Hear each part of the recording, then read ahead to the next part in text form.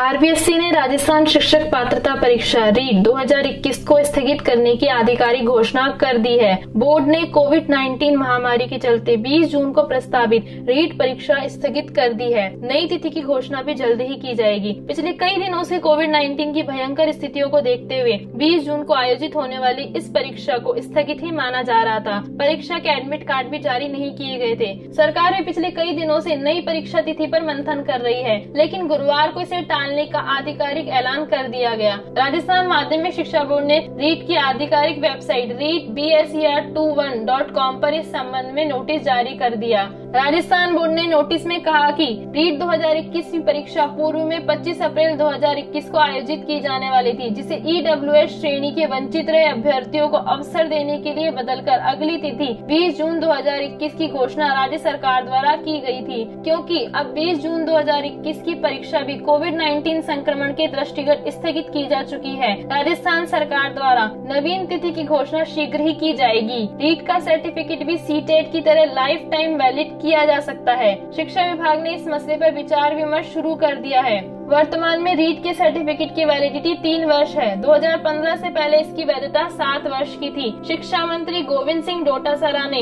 बुधवार को सचिवालय में चार घंटे तक बैठक की। इस बैठक में शिक्षा विभाग की लंबित भर्तियों पर चर्चा की गई। बैठक के बाद उन्होंने ट्वीट कर कहा, आज सचिवालय में शिक्षा विभाग में आयोजित बैठक में निजी शिक्षण संस्थान के मान्यता, रीट परीक्षा, कोर्ट के अध्याधीन भर्तियों, नए सेशन में विद्यालयों में आ रहे स्टाफ के दायित्वों, विभाग में विभिन्न पद पदोन्नतियों एवं कंप्यूटर शिक्षकों की भर्ती के संबंध में चर्चा हुई। मीडिया रिपोर्ट की बात की जाए तो डोटासरा ने यह भी कहा कि सी टेट के सर्टिफिकेट की लाइफ टाइम वैलिडिटी कर दी गई है। इसमें एनसीटीई की ओर से जारी किए गए दिशा निर्देशों का विश्लेषण किया जा रहा है। अभी विभाग को एनसीटीई का पत्र नहीं मिला है। पत्र मिलने के बाद सभी पहलुओं पर विचार किया जाएगा और रीड सर्टिफिकेट की वैलिडिटी लाइफ टाइम करने को लेकर भी फैसला लिया जाएगा। विभाग चाहता है कि आगामी रीट के लिए फॉर्म रीओपन होने से पहले इस पर निर्णय कर लिया जाए। डोटासारा ने बैठक में बोर्ड अधिकारियों को निर्देश दिए कि जल्द से जल्द ईडब्ल्यूएस अभ्यर्थियों के लिए रीट के आवेदन की प्रक्रिया शुरू की जाए। बताया जा रहा है कि अगले माह से आवेदन का लिंक रीओपन किया जा सकता है। शिक्षा से संबंधित खबरों को जानने के लिए हमारे इस चैनल को सब्सक्राइब करें।